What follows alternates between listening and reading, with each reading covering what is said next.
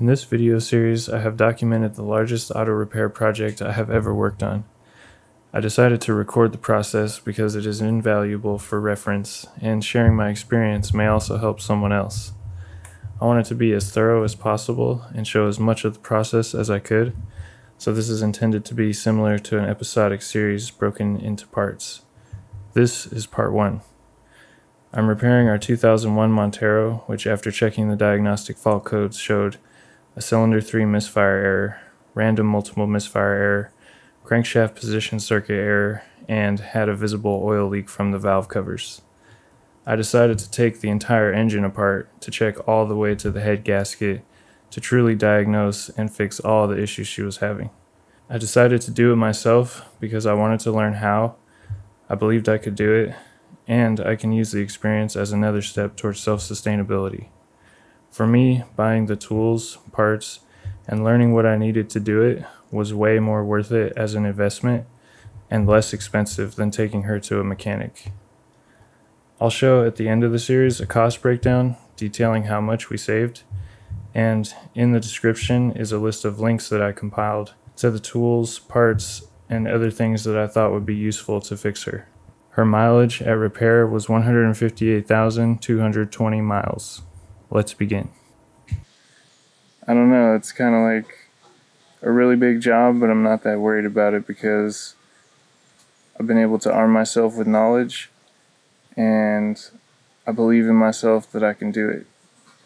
Now, before I started the repair, I ordered a repair manual and I studied it so that I would know all the processes, and then I made an annotated list um, outlining all of the processes that I'm going to have to do to the finish. So, taking everything apart and then reassembling it. Some of the tools I'll be using include this socket and wrench set with a screwdriver, various socket extenders, drive adapters, and universal joints, needle nose and standard pliers, 8 inch adjustable wrench, an 18 inch breaker bar, a hex socket set metric 1 pound hammer, a 10 to 150 foot pound torque wrench, and a 20 to 200 inch pound torque wrench.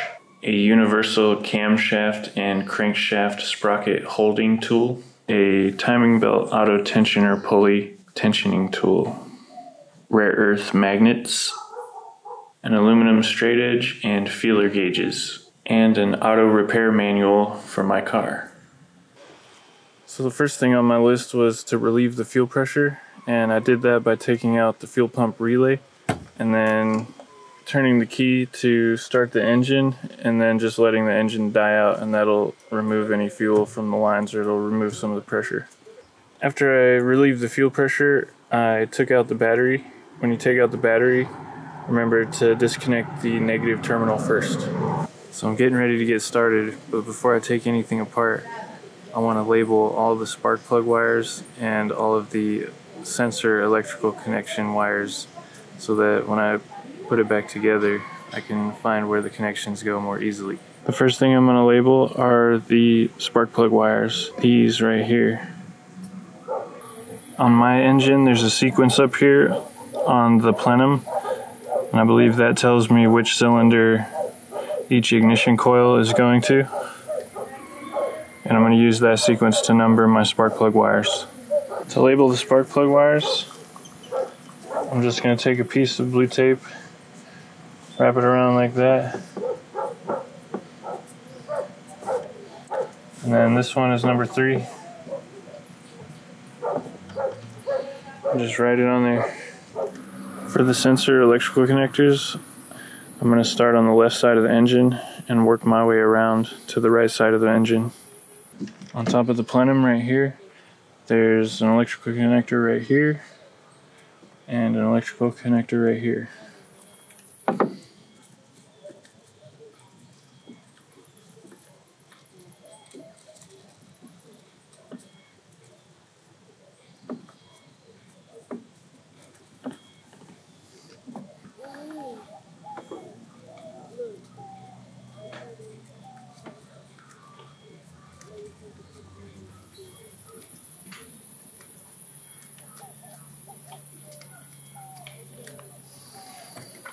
And to label these, I'm going to label them with the same code on each side so that that way I know matching codes will be for that same connector.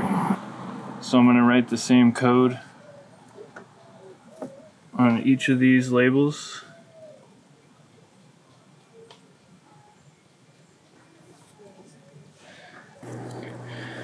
So I finished labeling every hose and electrical connector that I can for now.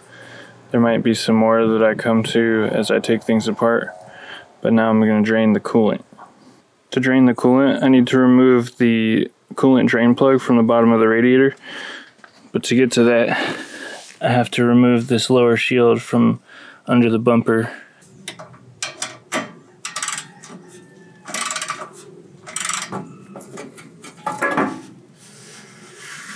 Right here is my coolant drain plug. I've got a concrete mixing tub positioned under the driver's side of my radiator to catch the coolant.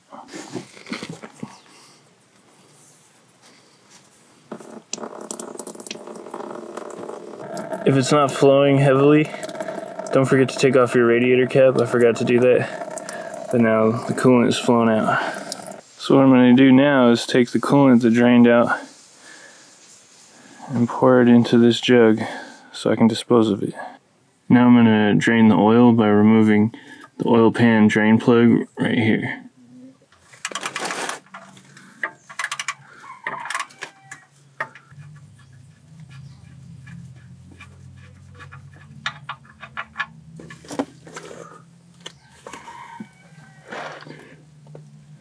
While I'm under the car, I'm also going to replace this oil filter right here.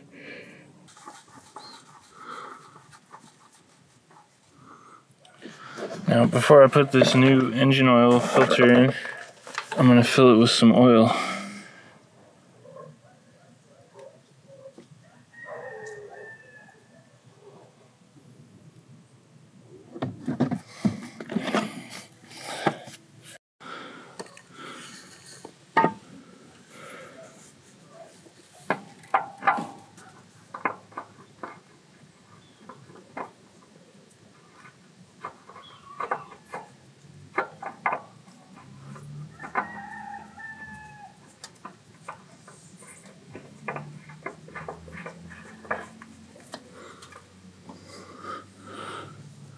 Now that I'm done with the underside of the car, I'm going to move to the top and I have to take off this air intake right here, which goes all the way around to this air box, which I have to take off. And then also this tube that goes into the throttle body and the plenum. And once all that's off, then I'll work on taking off this plenum and we'll go from there. I'm going to start by unplugging this sensor right here on top of the air box.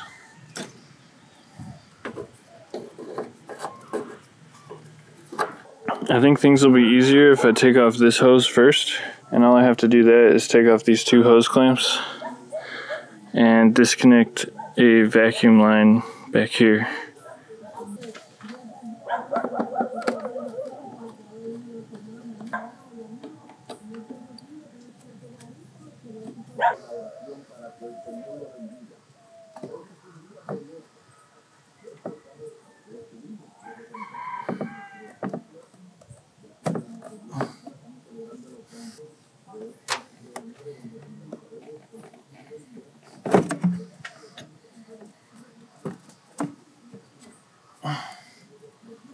Off, I'm going to work on the airbox.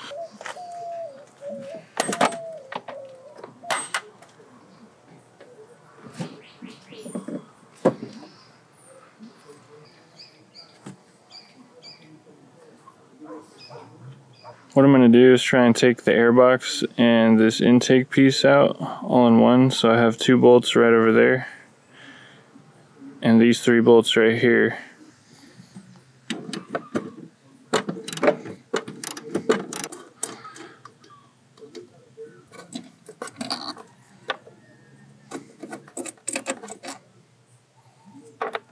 And now the two bolts on the front of the intake.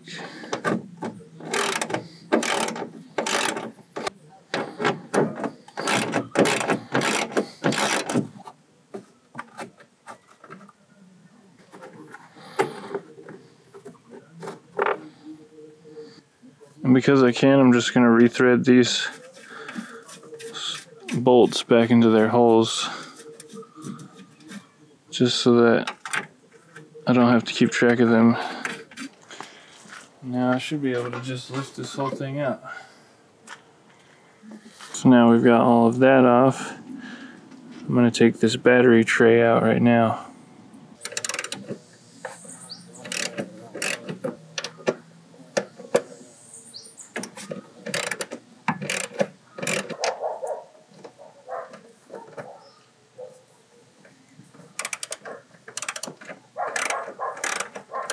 So for the battery tray, I didn't realize there's a little nut right down there that's attaching it to the fuse box. And then also I think it has to come out with the coolant reservoir.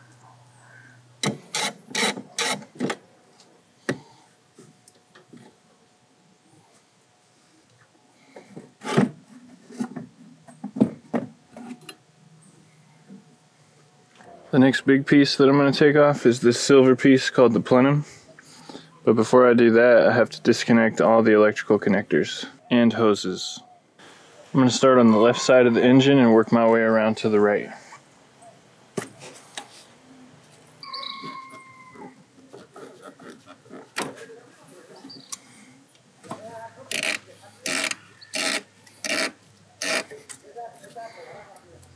Now I'm going to do the front of the engine.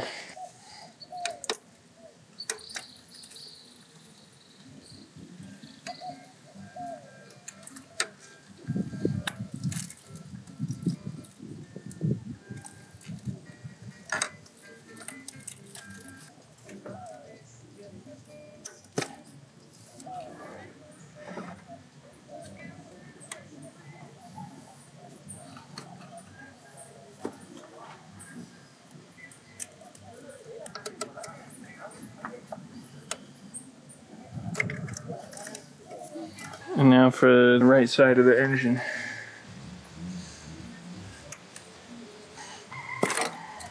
There's a little screw right here that goes to a little ground wire.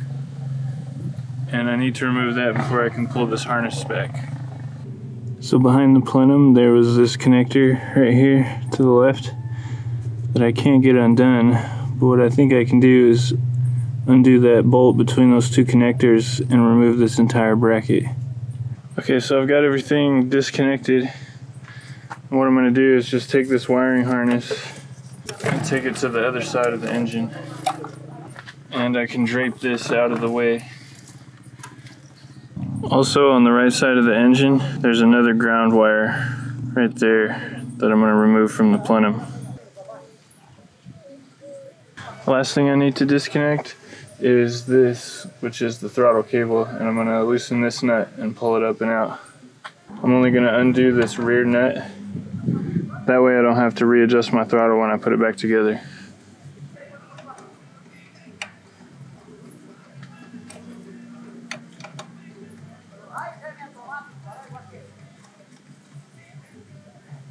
So now that there's some slack on the throttle, I can pull the little cable pin out of this hole.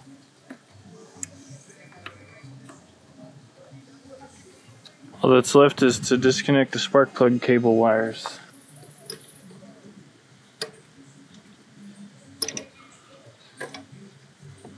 Now the only thing holding the plenum in place should be the bolts. I'm going to start on those now.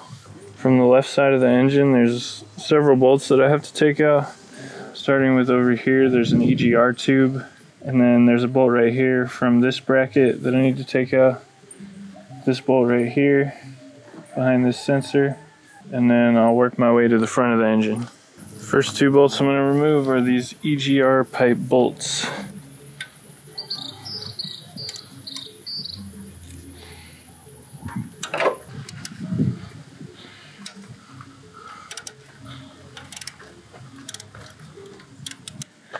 Next I'm going to undo this bracket bolt and this bracket bolt.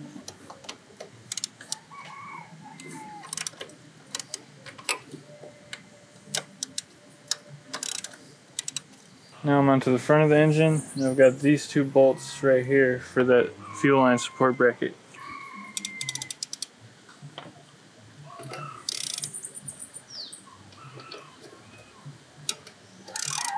Next thing I'm going to remove is this bracket right here.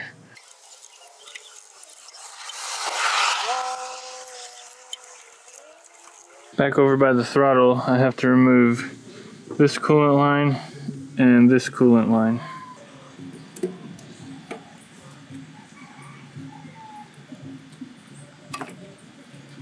So now that I've got all the lines and the electrical connections taken off of the plenum, I'm going to undo the plenum bolts themselves.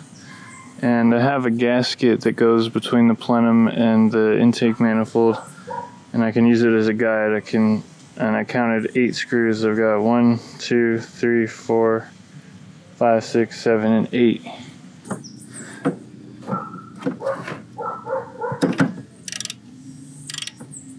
So now that I've undone all the plenum bolts, I'm going to see if I can rock the plenum up. It wants to move. Seems like there's still something holding it on. Let me find out. So it turns out there was still one bolt partially threaded. I should be able to lift it up now. What I want to do is lift it straight up. Hang on, I forgot this little vacuum line.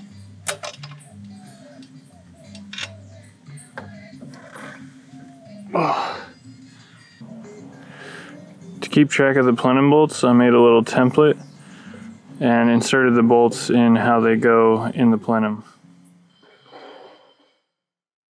That concludes this part of the series.